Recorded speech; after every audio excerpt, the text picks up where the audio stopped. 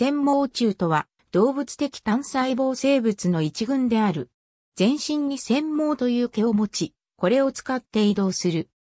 ゾウリムシやラッパムシ、釣りガネムシ、テトラヒメナなどが含まれる。二解説が唱えられていた時代には、動物界原生動物門専門虫綱に位置づけられていたが、五解説では、原生生物界の中で、専門注文という独立した門の扱いを受ける場合が多い。単細胞生物であるが、群体を形成するものもある。多くのものが細菌や有機物の微粒子などを接触するが、他の単細胞生物を捕獲して食べると、明確な捕食者として振る舞うものもある。単細胞藻類を細胞内に共生させる種も知られている。基本的には、繊毛、大角、小角、食法、収縮法からなる。体は前後に細長いものが多く、腹面と背面が明らかなものもあるが、左右対称ではないものが多い。前方か前方側面に細胞口と呼ばれる食物の取り込み口を持つものが多い。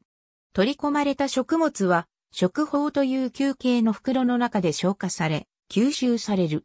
残ったものは体外に放出される。収縮法は体内の水分や老廃物を排出する役割をしている。細胞内には複数の細胞核があり、生殖用と生活用に機能が分かれている。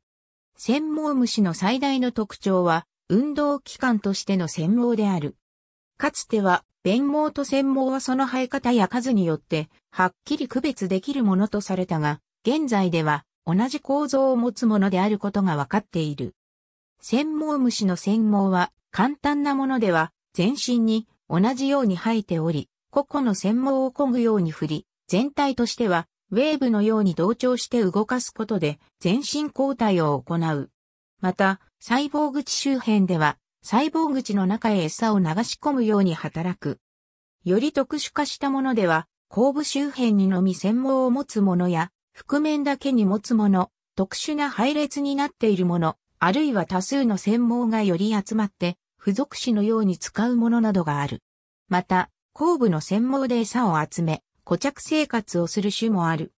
そのような種では、固着のための柄を持ち、種によっては、柄が伸縮するものもある。なお、スイクダムシ類は、専門を持たず、多数の感情の触手状の突起を持ち、これで単細胞生物を吸着して吸収する。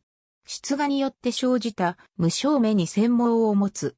また、繊毛に全身を覆われた単細胞生物としてオバリナ類がある。当初は原始的な繊毛虫とみなされていたが、多くの際があることから、弁毛虫に近いとされたこともあり、現在では独立した分類群とみなされている。基本的に水中生活である。プランクトンとしても出現するが、むしろ泥の中や有機物堆積物の間、藻類や水草の表面などに多く生息する。汚泥中にも多数出現する。柄を持って固着するものは、藻類や水草の表面だけでなく、ミジンコや珪藻の殻の上に固着するものもある。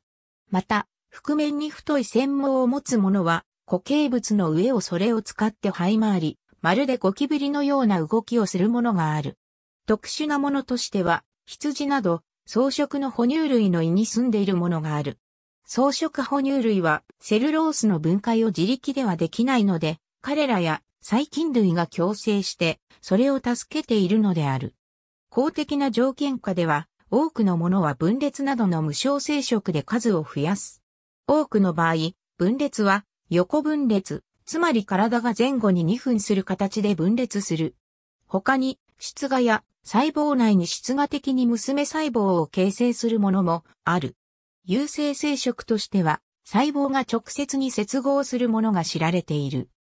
核には大核と小核があり、有性生殖時には小核がよく活動する。ゾウリムシの場合に細胞が同一方向に体を向けて寄り添うと、それぞれの大核は消失し、小核は原数分裂によってその数を増す。その後、このようにして生じた核の一つずつを互いに交換することで接合は終了する。それぞれの細胞内では交換した核と元からあった核が融合。その後大核が新たに形成される。この方法は、配偶子も接合子も特に生じない点で非常に特殊である。生活の中で意識して利用する場面はまずない。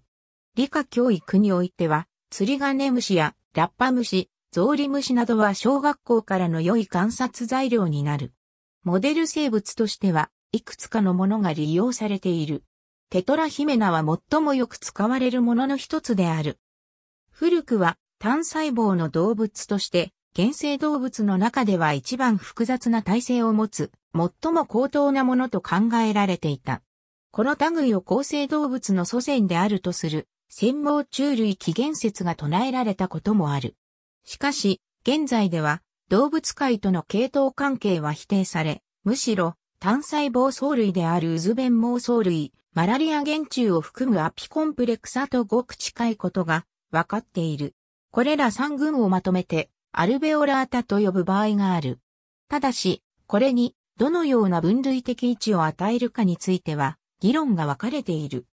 専門注文として独立させる考えやアピコンプレクサモンに属させる考えなどあって定まっていない。貝の分類群についても現在も大きく変動しているようで今後も大きな見直しがあるかもしれない。以下に示すのはその一例と考えていただきたい。専門注文シリオファー。ありがとうございます。